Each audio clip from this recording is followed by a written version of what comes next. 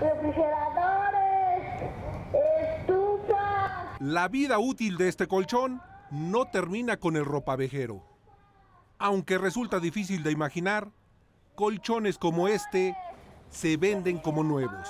Sí, lo rellenan, lo cubren con forro nuevo y regresa al mercado.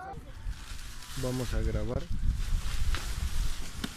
qué es lo que trae adentro un colchón comprado con los señores que los venden en las camionetas. Está bien chido.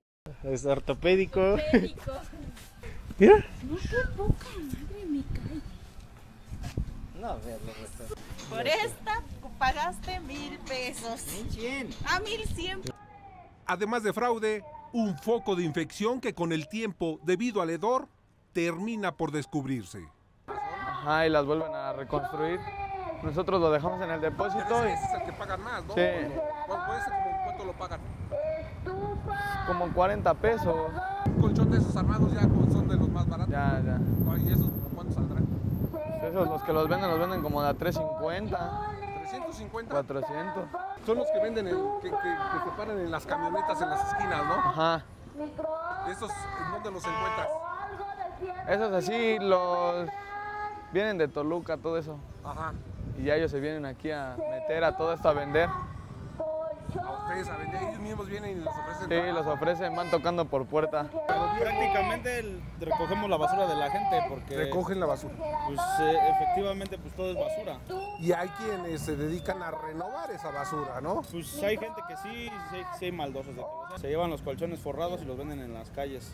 Solo en la colonia obrera hay 20 camionetas como esta, con placas del Estado de México, recogiendo colchones y salas inservibles, mismas que con el tiempo se ofrecen como nuevas a la puerta de su casa.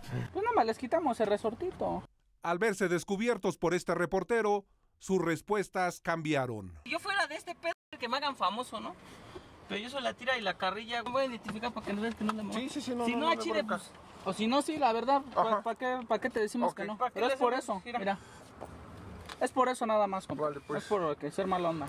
Odir a Panteco Sánchez. Estoy vigente, canal. En la camioneta de esta persona, que se identifica como policía, encontramos colchones que vende como nuevos y otros colchones evidentemente usados. Uno de estos colchones terminó en casa de Judith. Lo compró como nuevo. todo lo que sucede con ese tipo de gente.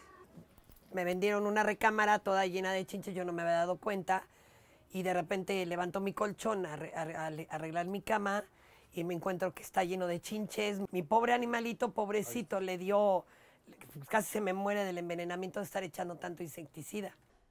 Una recámara, sala y colchón por 5 mil pesos resulta atractivo cuando la oferta llega a la puerta de su casa. De repente compro los colchones con mis cabeceras y veo los colchones y los toco, lo abro, no te quiero decir, eran puras bolsas de plástico, sucias.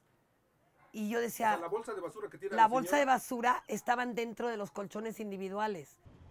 Por ser un foco de infección, la Comisión Federal contra Riesgos Sanitarios tiene decenas de quejas. Pero por el fraude y la informalidad en su venta, es la Procuraduría Capitalina la que puede detenerlos. Este año, en el Distrito Federal se tienen registradas más de 100 denuncias. Juan Antonio Cruz, Proyecto 40.